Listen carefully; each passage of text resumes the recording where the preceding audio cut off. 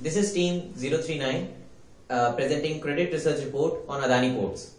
Adani Ports is the largest private multi-port operator in India and has 12 ports and terminals across India, representing 24% of the country's port capacity with total installed capacity of 395 million metric tons. Its market capitalization was 726 plus billion rupees uh, and revenue was 10,925 crore rupees in financial year 2019 with uh, ports contributing to 81% of its revenue. Its Mundra port, it's India's largest private commercial port with installed capacity of 249 million metric tons. It also provides integrated logistic solutions through three logistic parks to enhance connectivity between ports. Its uh, logistics business contributes to 5% of its revenue. It has three integrated land banks of 8000 plus hectares contributing 7% to its revenue through annual rentals and upfront premium. It also provides dredging and reclamation solutions for port and harbour construction and has largest dredging fleet in India with 19 dredgers. Coming on to management and corporate governance, it has 10 board members with 3 executive, 5 independent and 2 women members. Its most important plus point is that no director is member of more than 10 committees and chairman of more than 5 committees. This ensures distribution of decision making power. Its most important committee is the audit committee which has management audit and assurance services under it which carries out extensive audit throughout the year across all functional areas.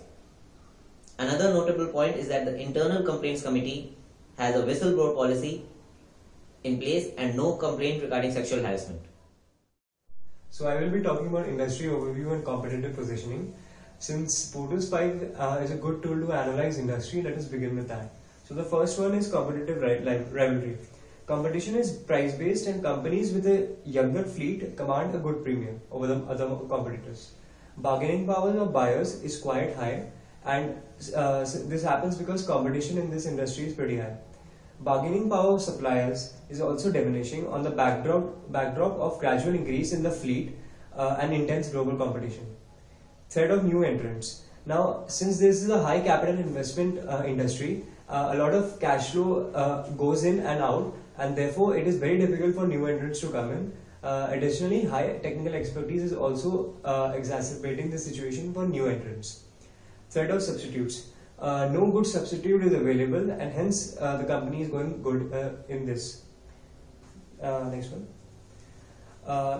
the acquisition of KPCL has increased Adani Ports handling capacity from 22% to 27% uh, by adding 64 million metric tons to its capacity. Uh, Mumbai's Jawaharlal Nehru Port Trust is currently India's largest government-owned trust, uh, whereas Adani Port, uh, Mundra Port, uh, specifically is the India's largest private port.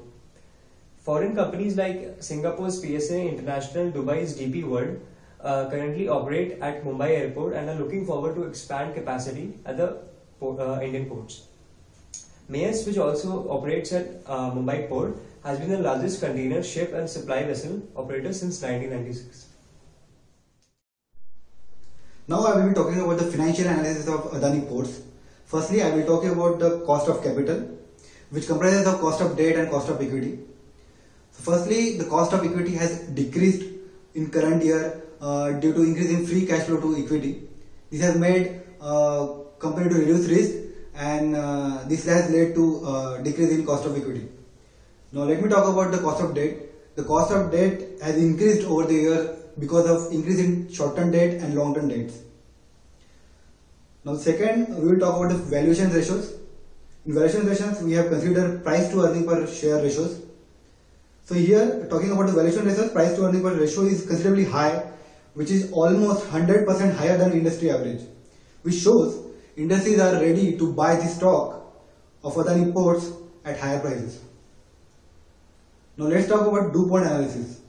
In DuPont analysis which comprises of three ratios, financial leverage, net profit margin and asset turnover ratio. Firstly we will talk about the financial leverage. The company has able to maintain ideal value of ratio which is equal to 2.32, which is considerably good.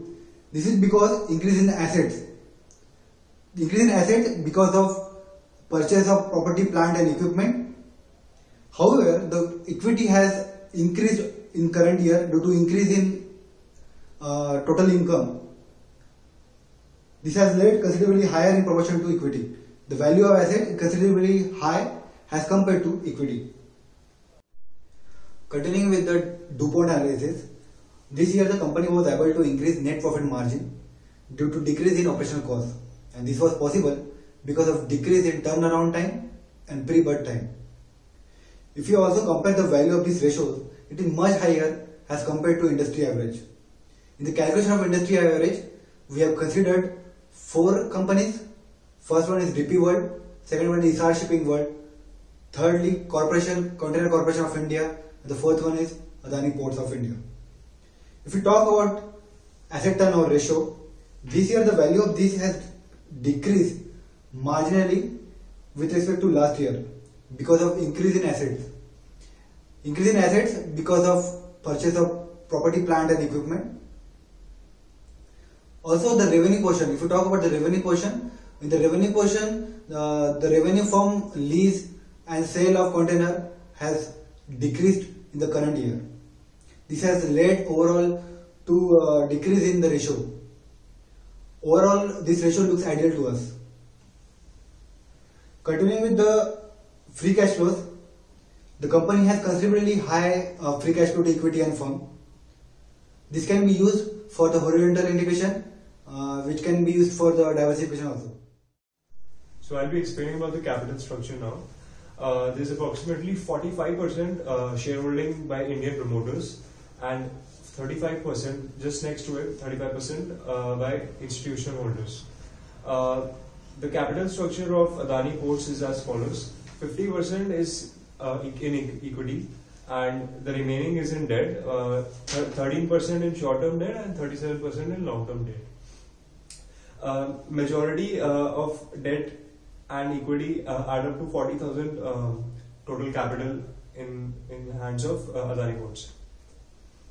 So among institutional and non-institutional promoters, we have uh, an institution uh, maximum by foreign portfolio investors, which is approximately 60%, uh, and then comes the insurance companies, which is around 30%.